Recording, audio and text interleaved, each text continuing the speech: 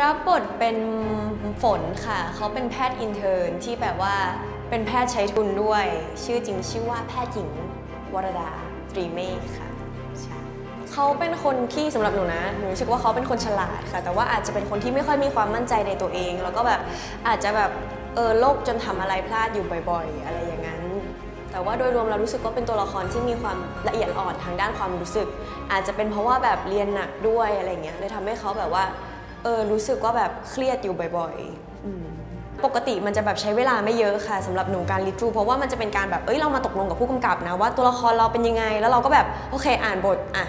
character ประมาณนี้จบ แต่ว่ารอบนี้คือเราใช้เวลาเยอะมากเยอะแบบเยอะมากเพื่อที่จะแบบมามีคุณหมอมานั่งอ่านด้วย มีทั้งคุณหมอตัวจริงมาให้คำปรึกษา แล้วเราก็คือแบบโยนคำถามใส่เขาแบบเยอะมากอะซึ่งมันเป็นอะไรที่แบบเกิดขึ้นกระทันหันมากแล้วเรารู้สึกแบบเหมือนได้รับความรู้แบบอัดแน่นมาเต็มๆ โดยที่เรายังไม่ทันได้ตั้งตัวอะ